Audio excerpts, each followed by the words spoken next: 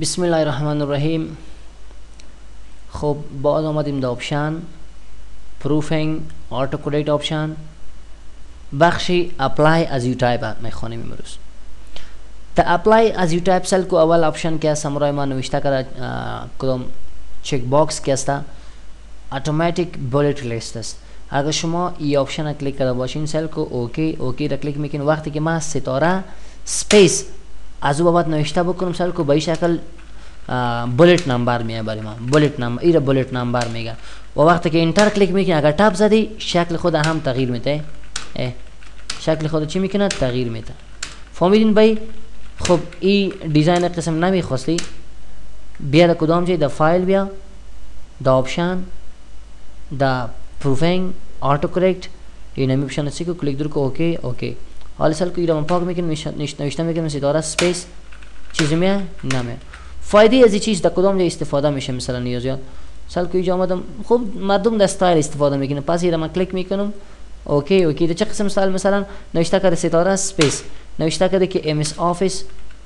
پروگرامز انتر اول ام اس ورد ام اس اکسل ام اس اکسس سایز ام اس پاورپوینت پی ATC یک ستایل جور کردی میبینی به این قسم یعنی به این قسم ستایل ما از امی استفاده میکنیم و اگر کلیک دور کردی آپشن پس این وظیفه خود اجرا نمیکنه از او بعد سلک نوشته شده که border لاین border لاین اگر توی آپشن کلیک کرده باشین شما سلک وقتی که شما نوشته میکنین منفی منفی منفی از سه کم نباشه زیاد که هر چقدر باشه کم نباشه این تر کلیک از او یک لاین جور میشه فکر نه سپارشتل کو منفی منفی منفی انتر کلیک از چی شد یک لاین جور شد و اگر ستاره ستاره ستاره نوشته کرد انتر کلیک از دیگه قسم لاین جور میشه و اگر مساوی مساوی مساوی نوشته کرد از دیگه قسم لاین جور میشه اگر شیفت هش هش یا زینا زینا نوشته کرد انتر کلیک کردین ای دیگه قسم لاین ازی جور میشه انواع مختلف لاین جور میشه یا مثلا اگر شیفت پایین از کی به بٹن اگر شما کلیک کردین این قسم سل کو انتر بزن دیگه قسم لاین جور میشه یعنی این چیزا را اگر شما نمیخواستین جور شوه بیاین در کدام جای در فایل در آپشن در پروفینگ در آتو کورکت و چک باکس باردر لاین چی کو کلیک دور کو اوکی اوکی حالا اگر من نوشته کردم که مثلا افغانستان ایره هیدنگ دادیم از او به پایین میخواستم لاین جور کنم مثلا منفی منفی ستاره ستاره کدام لاین نمیاره منفی منفی منفی یا مساوی مساوی مساوی کدام لاین برای ما نمیاره میخواستی پس فعال شوه برو در پروفینگ آتو کورکت آپشن واذا كليك اوكي او باز اوكي كليك دي اوكي و این میلان اگه تو انتر کنی لاین جور میشه و دیگه شکل کلیک دیگه لاین جور میشه و دیگه شکل کلیک دی دیگه لاین جور میشه خب بعضی پایین موضوع خودت نوشته کنه صحیح شد دیگه از او به بعد که سمرای ما دا پروفینگ آتوکوریگ آپشن نوشته کده built in herring style اگر شما این آپشن کلیک کرده باشین وقتی که هر لغت شما اینجا تایپ میکنین هر لغت که باشه مثلا کامپیوتر انتر وقتی که دبل انتر بکنم او هیدنگ میگیره به خود سلکو هیدنگ به خود گرفت و اگر تو رفتین شما آپشن د پروفینگ آتو کریکت و این را کلیک دور کردین بعد چی میشه سلکو اوکی اوکی را فشار بتین حال اگر ما این پس پاک کنم کامپیوتر نوشته کنم دبل انتر نه که ده دفعه انتر کنم ام نمیآوریم صحیح شد خب دیگه آپشن بود که نوشته شده بود که بلد این هرینگ style و اگر میخوای این آپشن کار کنه کلیک از او به بعد اتوماتیک نمبر لیست این نمبر لیست چی کار میکنه اگر شما ایره کلیک کرده باشین اوکی وقتی که شما نوشته کنین یک نقطه سپیس از او بعد تکس خود نوشته کنین سلکو مسلسل نمبر لاین نمبر بریم چه قسم یک نقطه سپیس میبینین شکل لاین نمبر را به خود میگیری یا A خورد نقطه سپیس یا مثلا A کلان نقطه سپیس یا مثلا A شفت قوس سپیس مختلف شکل داره به این قسم نمبر ها ما این لاین نمبر میگه اتوماتیک نمبر لیست میگه این نمبر لیست خوش نداری این کلیک دور کو اوکی اوکی حالا نوشته کو تو سل کو یک نقطه سپیس چیز میه دو نقطه سبيس A نقطه A نقطه او A نقطه سپیس چیزی میاد نه A چیزم نمیاد پس کلیک باشه خوبتر است کلیک و دیگه که بینمی سل کو دیجا اگر شما ایره کلیک کردین د پروفینگ د آپشن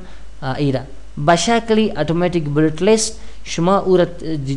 دیزاین رو تغییر دادن میتونید مثلا یک نقطه سپیس نوشته کردین از او بعد این قسم میآورده مثلا نوشته کردن که چی نوشته کردن که ای قسم نوشته کردن که ام اس آفیس enter click करी next करी कि M S Word M S Excel M S Access ए सही था दीदी निस्तोला खुब आगे क्लिक दूर करें नहीं और नाम था आजू पाई नाम रहा the proofing option auto correct चीज था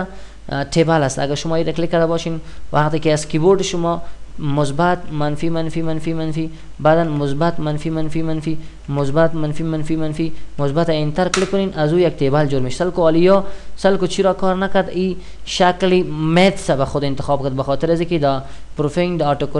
در اینجا کیس در میتس کیس ما این اپشن کلیک کردیم اون را کلیک دور کو اوکی اوکی آل سل نوشته کنید شما مثبت منفی منفی مثبت منفی منفی مثبت منفی منفی مثبت انتر کلیک از تیبل جور میشه ای اگر می که میخوای تیبل کلون کنید تپ بزنین کلون میشه تیبل تپ تپ مثلا به خاطر نام شاگرد پروگرام و پروگرام و فیزش یک مثلا سلام شد ویندوز میخوانم رایما. فیزیش چه قصد فیزیش مثلا اینما قدر است با همین شکل دیگه ډیزاین جوړ میکنی اینوی نام خوی تیبال جور شو از طریق کیبورد بیا دا پروفینگ دا اتو کریکت و در اینجا که آمدین در اینجا یه کلیک دور کنین بعدا اوکی اوکی رو فشار بدین سل کو مثبت منفی منفی منفی مثبت منفی منفی مثبت انتر کلیک کو چیزی میں نه این مثبت که است لاین عبودی است یعنی کالم ها است و منفی که است لاین افقی یا راه ها است صحیح شد بعدا nazukia samroima the option uh, the proofing the autocorrect cell कुछ नविष्टा कदा नविष्टा कदा कि automatically as you type اولین option क्या cell को नविष्टा कदा format beginning of a list like one before it اگر شما یه آپشن کلیک کرده باشین وقتی که من اوکی رو فشار میدم مثلا نوشته کردم یک نقطه سپیس و خط خود چی کردم بولد کردم نوشته کردم که this is یک چیز رو نوشته کردم مثلا این نوشته کردم خب مثلا اینم قرار نوشته کردم this is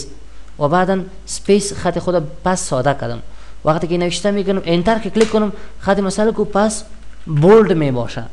ما اون او را ساده کردیم مگم بولد شد چرا ما کامپیوتر را هدایت کردیم که تو باید چی کنی بیفور لیست که کدام بود به اونمو سر کنی از او پایین به ما قسم جور شوه بریم این قسم نمیخوای جور شوه پس چی کو برو د فایل د آپشن د در پروفینگ که آمدید آتو کرکت اینمی اپشن کلیک در کو پس اوکی اوکی رو فشار بده آل نوشته کو یک نقطه سپیس خط خود بولد کو بعد سپیس خط خود ساده کو نوشته بکو انتر که کلیک کنی خط ساده میه بولد نمیه دیگه د فایل د آپشن د پروفینگ امرای ما چیست از او پایین سل کنه اشته شده که sit left in first indent و tap in backspace وقتی که من کم ذره تکس نوشته کنم ایره سلیک کنم سپیس که میزنم این خود به خود چی میشه پیش میره و یا بک سپیس که میزنم در جای خودش میره صحیح این قسم نمیخوای میخواستی با توسط تپ که از وقتی که تپ فشار میتی از بین بره این می آپشن بالا رو چک کو کلیک دور کو اوکی اوکی حالا سال کو وقتی که تپ میزنی از بین میره وقتی که سپیس میزنی از بین میره صحیح است اگر این قسم نمیخوای پس برو دوجا او آپشن پاس دا پروفینگ دا اتو کلیک آپشن بتن و این پاس چک کو کلیک اوکی اوکی پس قسم نمیشه دیگه نوشته کرده define style based on your formatting اگر شما این آپشن کلیک کرده باشین هر نوع استایلی که شما میخواستین در مایکروسافت ورد جور کنین میتونین مطابق نظری خودت مطابق ضرورت خودت چی کنی او را استایل دیفاین کنی بسازی ای بود آپشن های بعدی آتو فارمت از یو تایپ